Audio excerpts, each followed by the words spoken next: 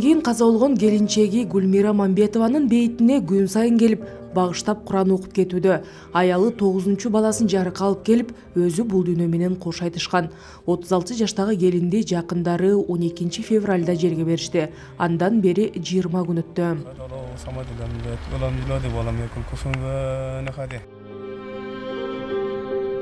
көчөдө келинчегимдин баскан издери үйдө жүргөндөрүн эстеп балдарга билгизбейин деп өзүм кармап эметип атам. Анан кеч киргенде кыйын экен. Да мен жумуштан келгенде жумушка кетип атканда узуп аткан тосуп алган күндөрүмдү эстесең сүйөгүң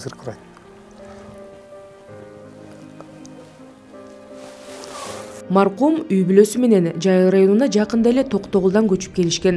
Отурукташкандан кийин төрөтканага барып дарыгерге көрүнгөн дейт жолдошу. Анда баары жакшы болчу дейт ал. Онунчу февраль күнү ичи ооругандыктан толгоо башталса керек деп кара балташ шаарындагы жайыл райондук жалпы дарыгерлер практикалык борборунун төрөтканасына барган экен. Эки сааттын ичинде төрөйсүң деп айткандыктан жолдошу жумушун таштап керектүү документтерин баланын буга чейинки даярдаган кийим кечилерин жеткирип барган.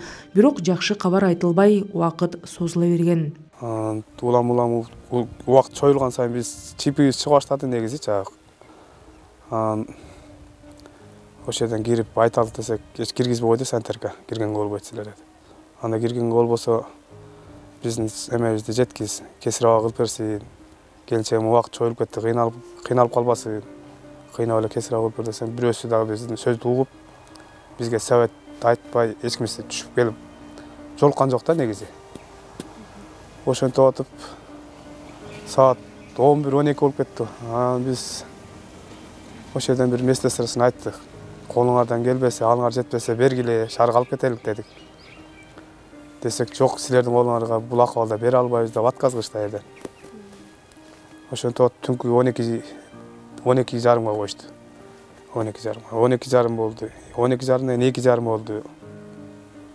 биз ошол жерде баарыбыз күттүк эч жака кетпей ошентип атып үч жарымда обшеркасы түшүп бизге дары дарылардын кагазын берди да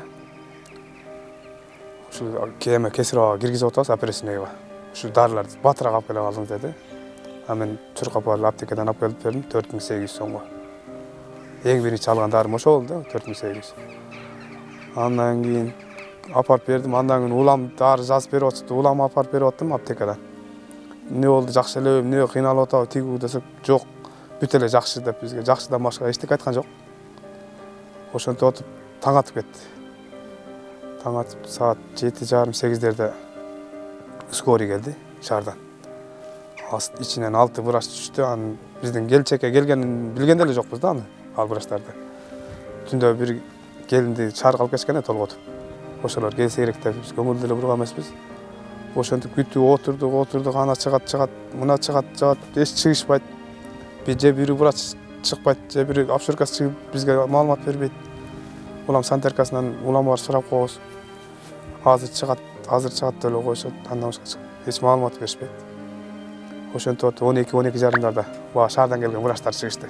Заведующий кошо чыгып бизге сүйүнчүлөдү эркек балалуу болдуңуз. Балаңыз жакшы келинчегиңиз жакшы операция бүттү биз акыбалыбыз жетпей бул шаардан врачтарды чакырдык элек спец врачтарды тажрыйбасы бар. Врачтар келди дегенде мейли деп сүйүнүп калдык баардыгыбыз ошол жерде отургандар врачтар шаардан келген врачтар машинага түшүп кетишти жол көрөсүн бер деди жол көрөсүн бердим бир жарым миң биринчи балаңызды көргөзөлүк дешти мейли деп балам көрдүм балам жашынакай уктап отур анан кучактап өп сүйүнүп келинчегимди көздөй баратканда эле узун коридор экен операционный эмеге баратканбыз да.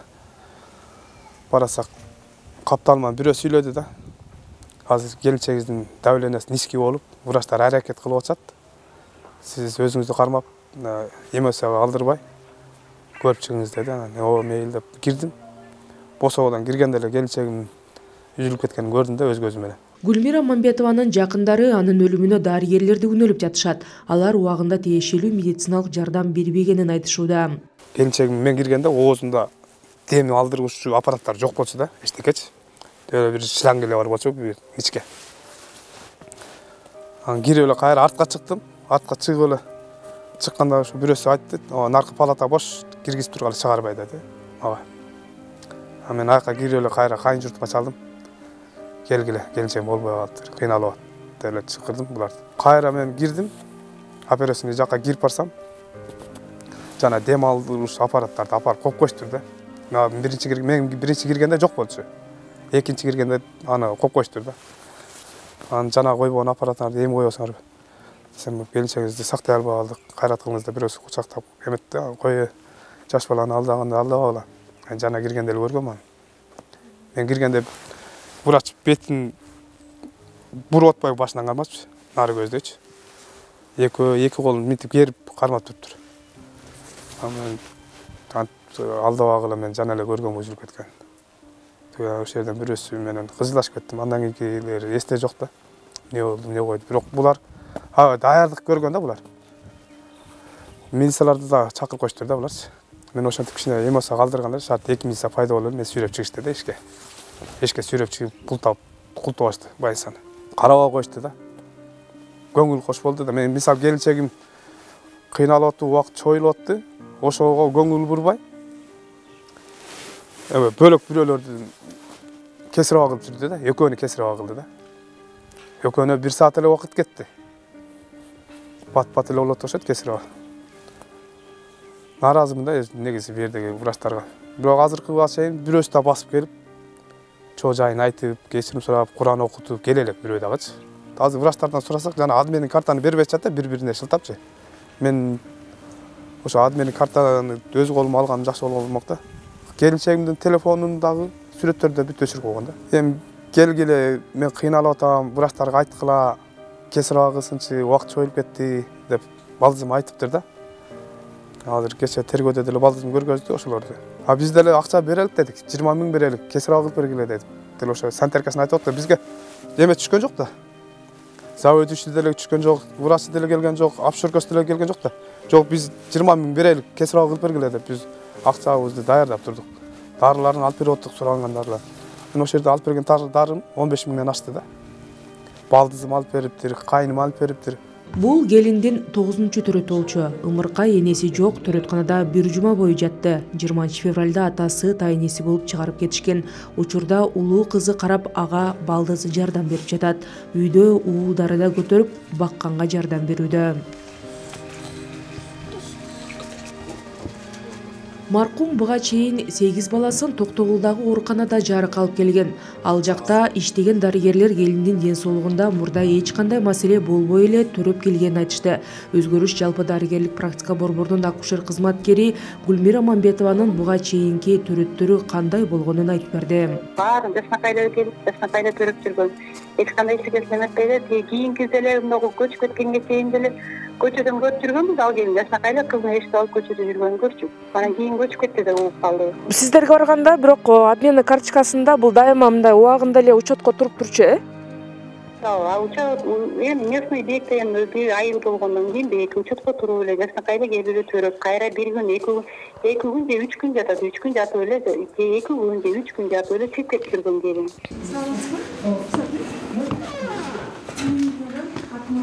саламаттык сактоо министрлигинде бул окуяга байланыштуу атайын комиссия түзүлгөн.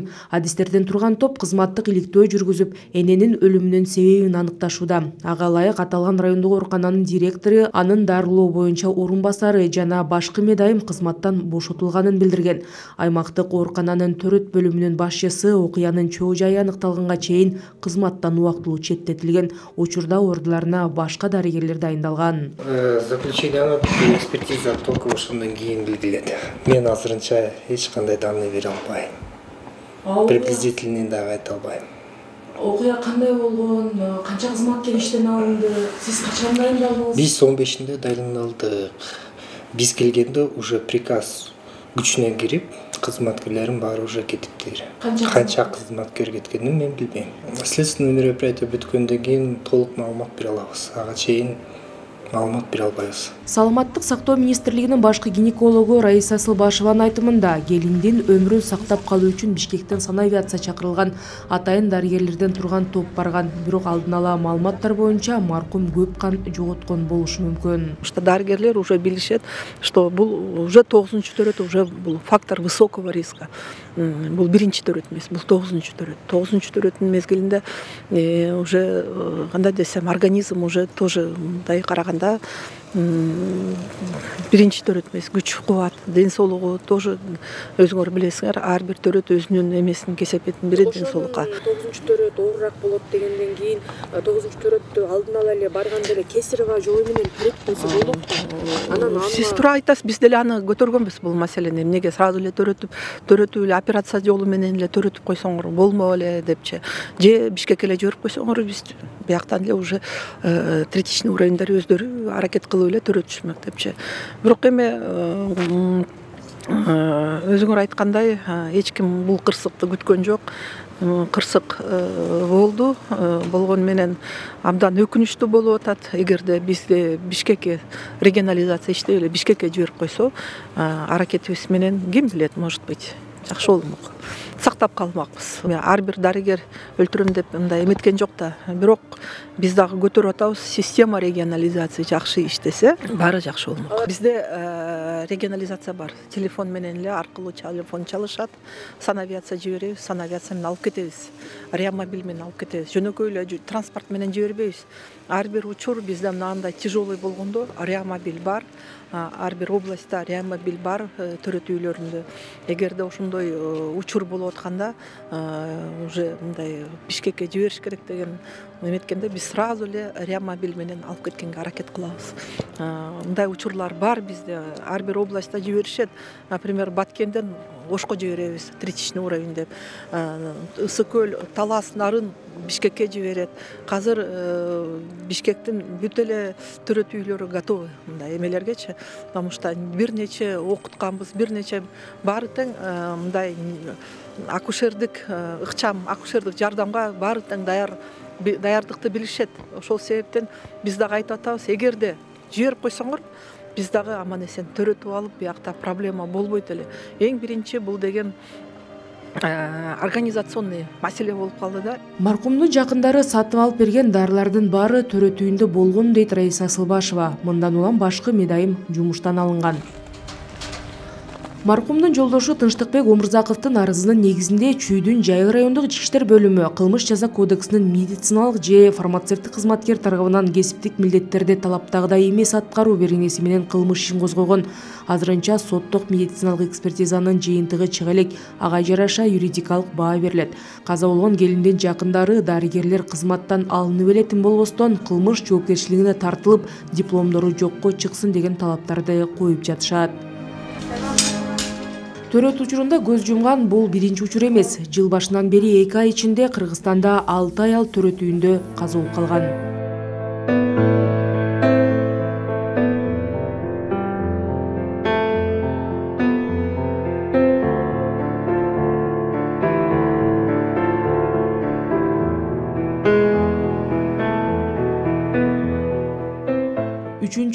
талас районундагы кара койчо токтогулов атындагы аймактык ооруканасынын төрөт бөлүмүндө жыйырма эки жаштагы келин таңгүлү эрматова каза дарыгерлер эненин өзүн дагы баласын дагы сактап кала алышкан эмес. Келинчегим экинчи январь күнү чат базарга алып келгенбиз толгоосу келип.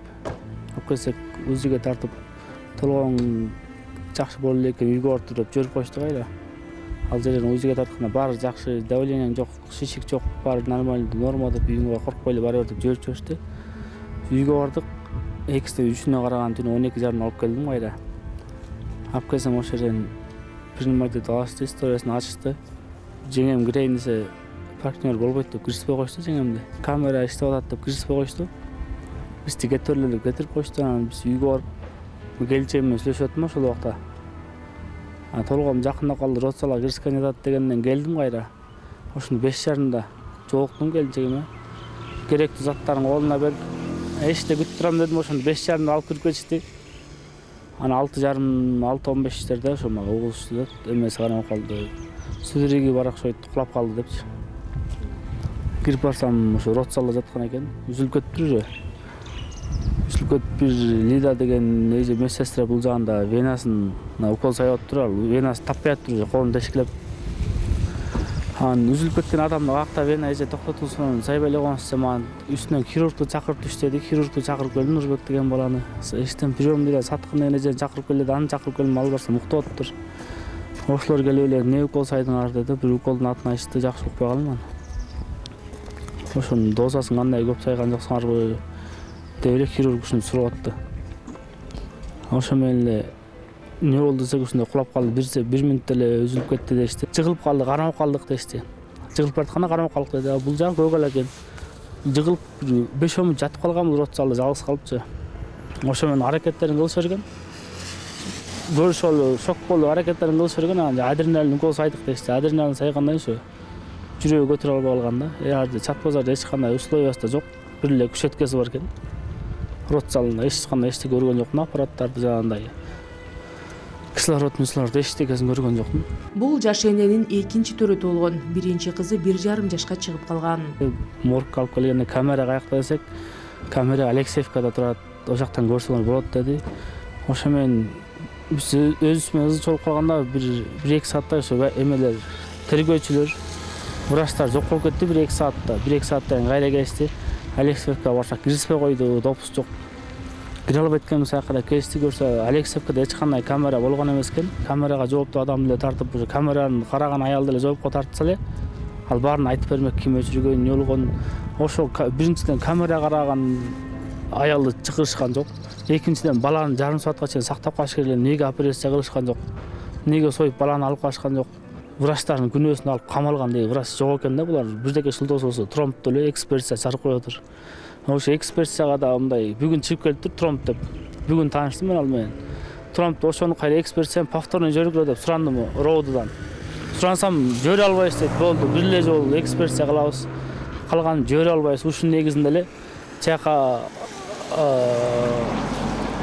экспертизага кайра ушуну баланы сактап калганга мүмкүн беле мүмкүн эмес беле деп ошону эле жиберебиз болду заключениясы тромб бойдон калат деди а мен тромбко ишенбейм бул тромб болгон эмес эч кандай оорусу да болгон эмес ошону деп эчтеке айткан эмес деп туурабы эчтеке бул бүт бар папка барган документтерим баары таза болуп бүт баары таза диагноздо бүт шишиги да жок болгон бөйрөгү эч жери ооруган эмес бул убакка чейин.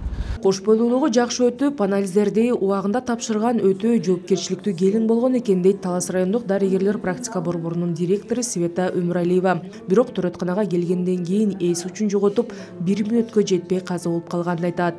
Учетко тургандан кийин э, ал жердеги иштеген семейный медсестранын айтымы боюнча Э, келип тургандан кийин протоколдун негизинде баардык анализдерди тапшырып өзү баардык эле мындай эле жоопкерчиликтүү келин экен баардык өзүнүн учурунда э, эмелерин анализдердин баардыгын тапшырат ошентип жүрөт.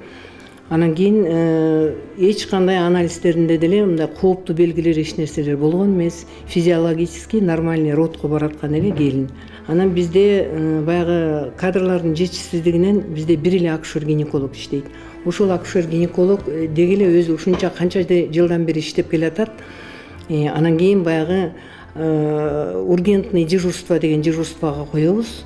Ургентный дежурство деген эгерде түнкү төрөттөр боло турган болсо ал кишини чакырып машина менен скорый менен алып келишет. Түнкү төрөт жок болсо келбейт бирок постоянный дежурствода. Анан ошол күнү Э, тиги келин түшкөндөн кийин баягы схваткасы баштала элек толгоосу баштала элек болгондуктан аны чакырышкан эмес. Эртең менен саат алтыда толгоосу күчөп баштаганда врачты алып келишет врач келет. Э, врач келгенден кийин саат алтыда көрүптүр ал киши. Ал киши көргөндөн кийин азыр эми нары бери басыптыр баягы толгоосу бир үч төрт минутада болуп калган болсо керек.